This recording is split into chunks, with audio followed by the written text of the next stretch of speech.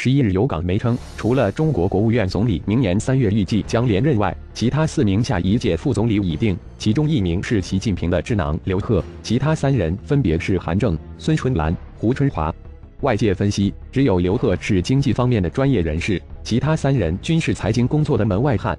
港媒十二月十一日报道，其在第一个五年任期大力反腐巩固权力后，第二个任期应对面临经济危机的压力，包括日益增长的债务、产能过剩和国企效率低下等问题。消息人士透露，曾经在哈佛大学求学的刘鹤将在明年三月出任国务院副总理，他将负责应对经济崩溃的威胁。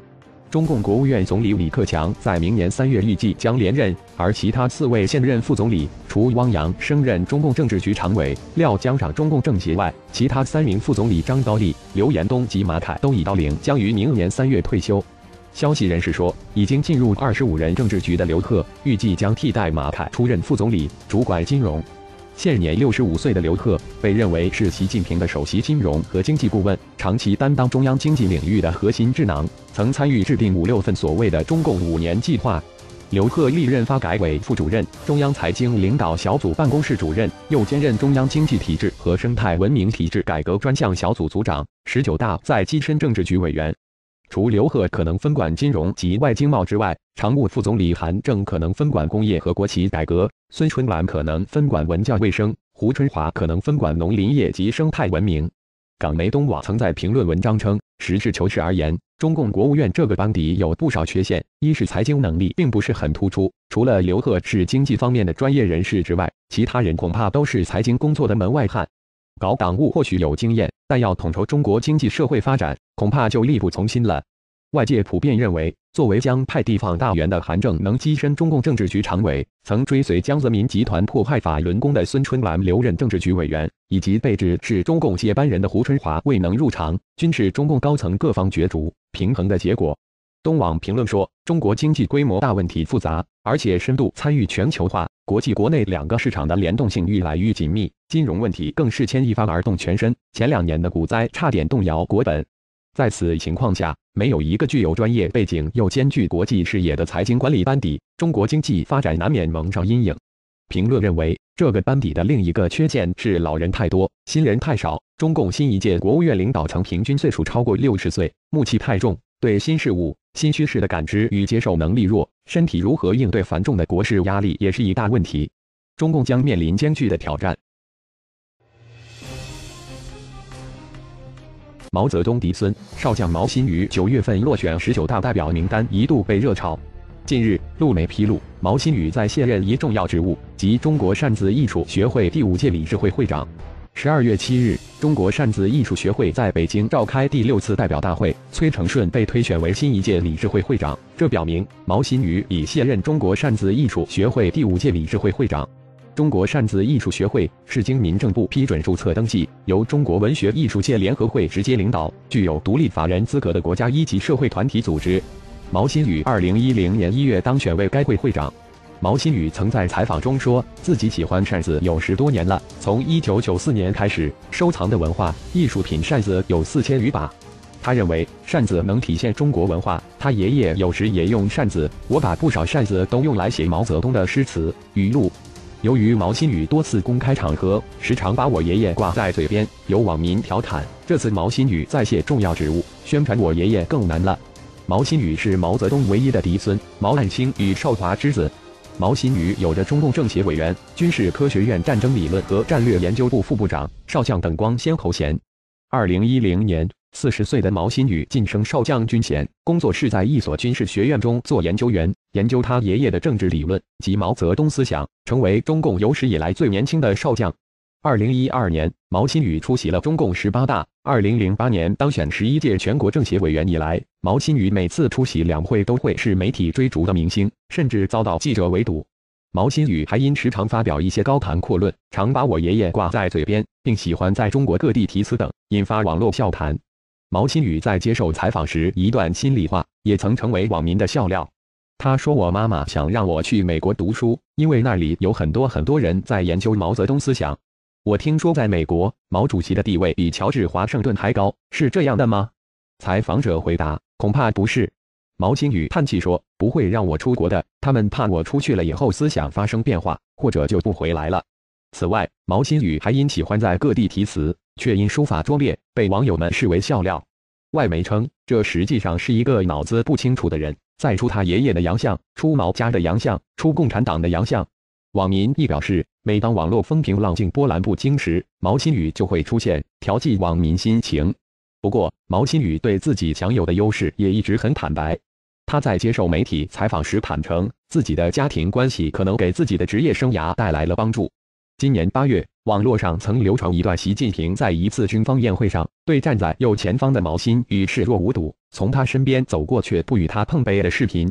李克强跟随习的后面，也没有和毛孙碰杯便离开。由于毛新宇拥有毛泽东嫡孙的特殊身份，且是中共最年轻的少将，却被习李视若无睹，在周围的人看来，这是不祥之兆。九月六日。中共军报公布军方和武警部队出席十九大代表的名单，毛新宇等多位红二代不在十九大代表名单上。港媒爆料说，当时毛新宇在其所属单位选举十九大代表时，不仅被差额淘汰，而且得票率仅为百分之二十二，离有效的票百分之五十以上票差存在大距离。开票后，毛新宇就并复发骂道：“又在清算我爷爷。”值得关注的是，毛新宇是中共十八大党代表，按中共惯例，党代表至少可任两届。此外，由于毛新宇拥有毛泽东嫡孙的特殊身份，同时也是毛泽东唯一的孙辈血脉传承人，他的落选曾一度引起舆论大猜想。时事评论员刘瑞绍对《苹果日报》分析：以往毛新宇有军头扶助，但现实军队已改朝换代，加上毛新宇位列少将，但过往行为笑料百出，影响军队形象。相信今次中央在十九大选前只是踢走了毛新宇，以营造军委主席习近平务实治军作风。德国之声则引述时事评论人士的分析称，从江泽民时代开始，中共军队和其他官僚机构一样非常腐败，基本没有什么战斗能力。把毛新宇安在这样一个位置，年年参加会议，其实也是权力腐败的一个象征，照顾关系，照顾红二代。评论称，习近平上台以后，一直着手重振军队，清理毛新宇这些以前多年尸位素餐、不发挥作用的人，有利于整顿军队纪律，改变人浮于事的现象。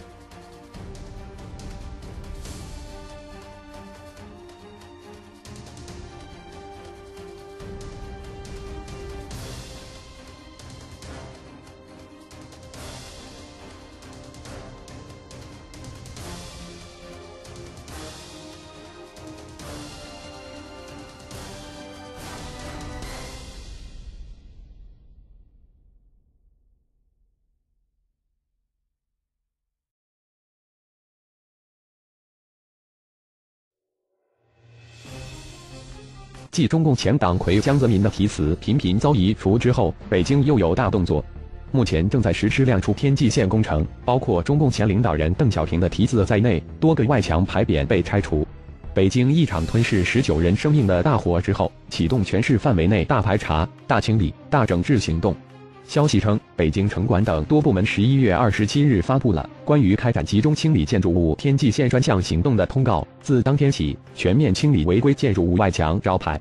此后，北京不少政府大楼、高校、企业的外墙招牌陆续被拆除。十二月六日，有北京网友发现，位于中国国际广播电台的墙外招牌被拆除。值得注意的是，“中国国际广播电台”这八个字是由邓小平所题写。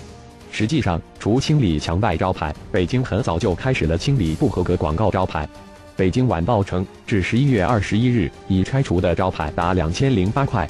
实际上，在拆除邓小平的题字之前，当局拆除江泽民的题字早已成为常态。早前，中国各地还曾接二连三传出江泽民题字遭铲除的消息，由此引发对当局去僵化的猜测。早在二零一五年，就有报道称，上海空军政治学院教学楼外墙上江泽民的题词被工程人员清除。北京军队总医院一座大楼上的江泽民题字也被清理。河北省廊坊的东方大学城正在考虑拆除江泽民的题字等。同年八月下旬，中央党校南门口江泽民题写的中共中央党校卧室招牌也被连根清除。对此，时政评论员李善建分析说：“移走党校门口的这块石头，确实是很明确的一个信号，蒋确实是失势了。在位的那些人，他不想受他牵连，尤其是中央党校，消息是很灵通的，知道这个消息后，赶紧跟你撇清关系。”李善建认为，如果江泽民还有足够的势力，即使因为照相撞死了几个人，也没人敢动那块石头。如果真的影响交通，为什么这么多年不移走？他认为，随着事态的发展。将有越来越多的官员出来撇清和江泽民的关系。近年来，有关江泽民贪腐淫乱、汉奸绅士、出卖国土、镇压六四学生、迫害法轮功、垂帘听政、是党政军大老虎总后台、江家父子贪腐等等罪行不断被媒体翻炒，民间要求清算江泽民罪行的呼声四起。最近，海外盛传曾长期担任王岐山秘书的中纪委组织部部长周亮将出任中国银监会副主席。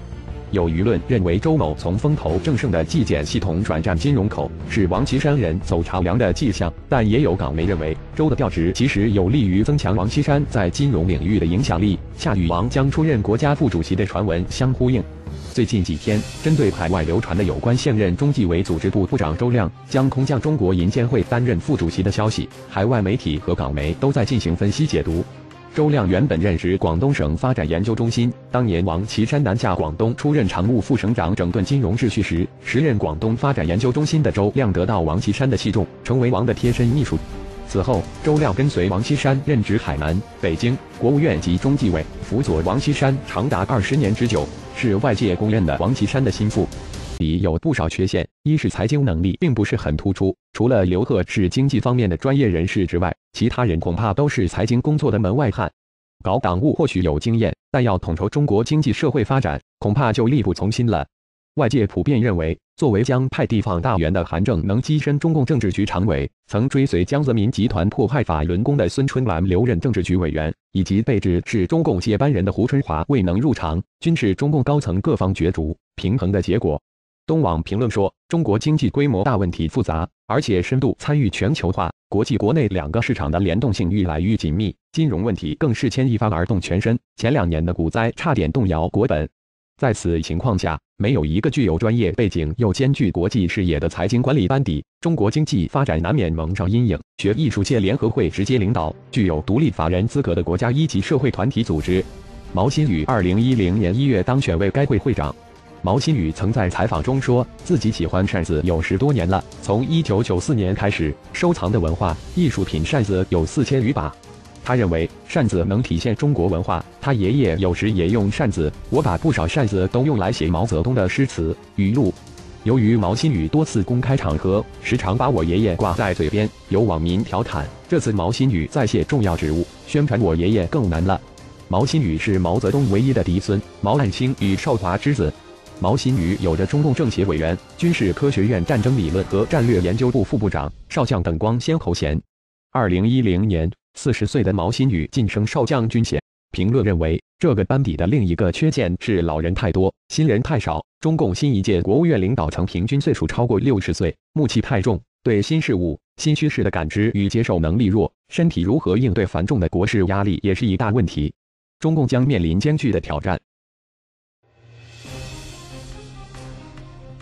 毛泽东嫡孙少将毛新宇九月份落选十九大代表名单一度被热炒。近日，路媒披露，毛新宇在卸任一重要职务，即中国扇子艺术学会第五届理事会会长。十二月七日，中国扇子艺术学会在北京召开第六次代表大会，崔成顺被推选为新一届理事会会长。这表明毛新宇已卸任中国扇子艺术学会第五届理事会会长。中国扇子艺术学会是经民政部批准注册登记，由中国文。十一日有港媒称，除了中国国务院总理明年三月预计将连任外，其他四名下一届副总理已定，其中一名是习近平的智囊刘鹤，其他三人分别是韩正、孙春兰、胡春华。外界分析，只有刘鹤是经济方面的专业人士，其他三人均是财经工作的门外汉。港媒十二月十一日报道，其在第一个五年任期大力反腐巩固权力后，第二个任期应对面临经济危机的压力，包括日益增长的债务、产能过剩和国企效率低下等问题。